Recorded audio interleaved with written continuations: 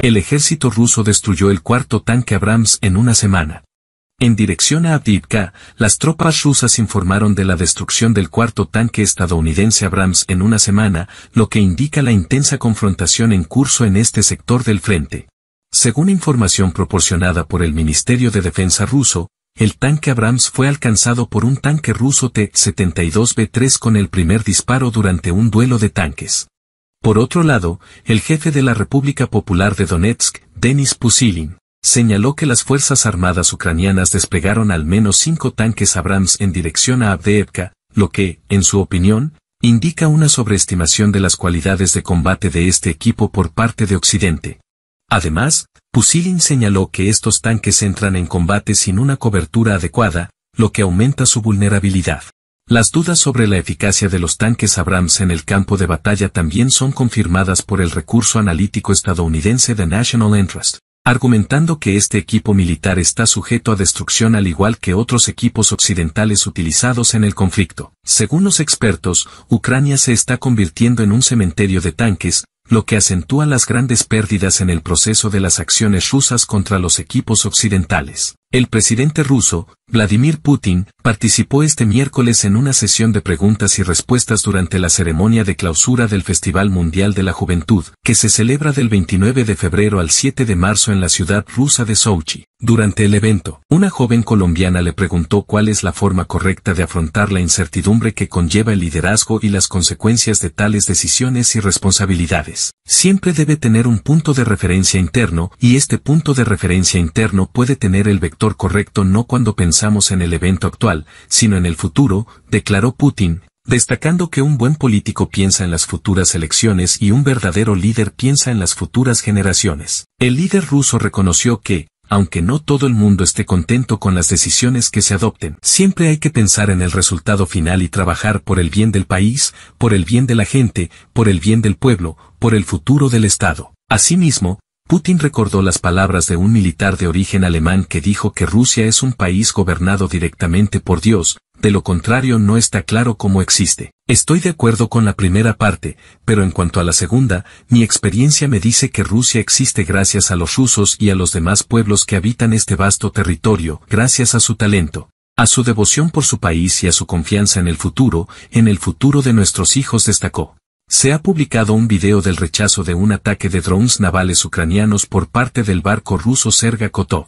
Ha aparecido en Internet un video único que captura el momento de repeler un ataque de las Fuerzas Armadas de Ucrania contra el patrullero ruso Sergei Kotov en la zona de la bahía de Feodosia, frente a la costa de Crimea. El incidente, que fue objeto de atención de los periodistas del Portal Avia, Pro, se produjo en la oscuridad cuando el enemigo intentó atacar un buque de la flota del Mar Negro con cinco barcos no tripulados del modelo Magura V5. Las imágenes grabadas por testigos presenciales muestran como el Serga Kotov, un barco patrullero del proyecto 22160, resiste activamente el ataque, disparando en respuesta a la aproximación de drones hostiles. Según las fuentes, todos los miembros de la tripulación del Sergei Kotov sobrevivieron al ataque, lo que indica que la amenaza fue repelida con éxito. Aún no se han proporcionado datos oficiales sobre las consecuencias del ataque o posibles daños al barco, pero el hecho mismo del ataque suscita preocupaciones sobre la seguridad de la navegación marítima en la región. No es la primera vez que Serga Kotov se convierte en blanco de ataques en los que la parte ucraniana utiliza drones kamikazes.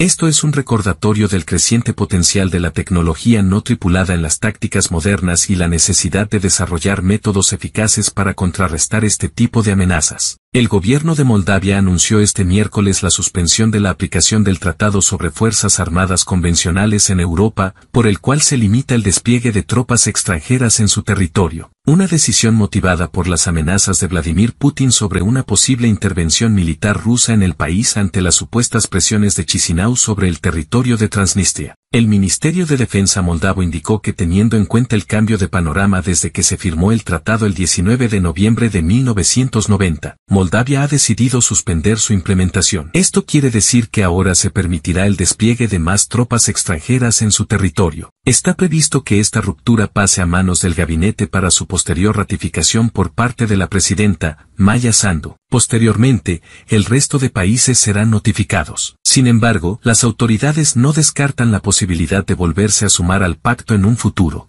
en vigor 150 días después de la notificación. Hasta ahora son 21 los países que se han suscrito a la suspensión del acuerdo. 16 de ellos son miembros de la OTAN y los otros 6 son integrantes del Pacto de Varsovia. Según esta medida se limita el número de carros de combate, vehículos blindados, casas, helicópteros y artillería pesada de los países signatarios.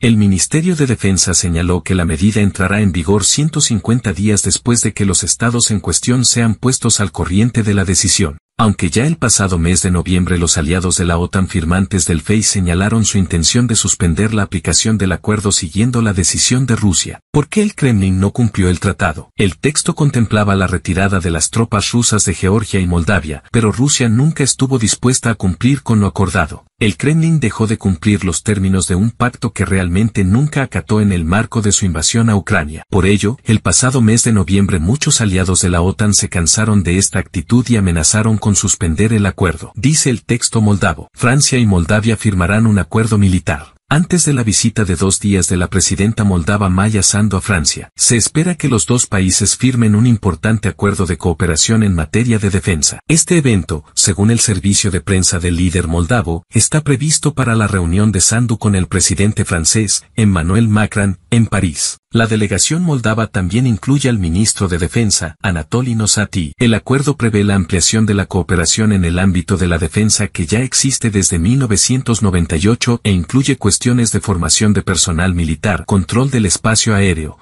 participación en misiones internacionales e intercambio de tecnología. La medida es parte de la estrategia de Chisinau para fortalecer sus capacidades de defensa e integrarse en las estructuras de seguridad euroatlánticas, incluida su búsqueda de membresía en la OTAN. Francia, que ya suministra a Moldavia equipo militar, incluidos radares tácticos para el espacio aéreo Groundmaster, GM-200 está fortaleciendo su posición como uno de los socios militares y técnicos clave de Moldavia junto con Rumanía. Las Fuerzas Armadas de Ucrania intentaron realizar seis ataques nocturnos contra regiones rusas. El Ministerio de Defensa ruso informó de una serie de intentos de ataques al país utilizando vehículos aéreos no tripulados, UAV, llevados a cabo por fuerzas militares ucranianas durante la noche.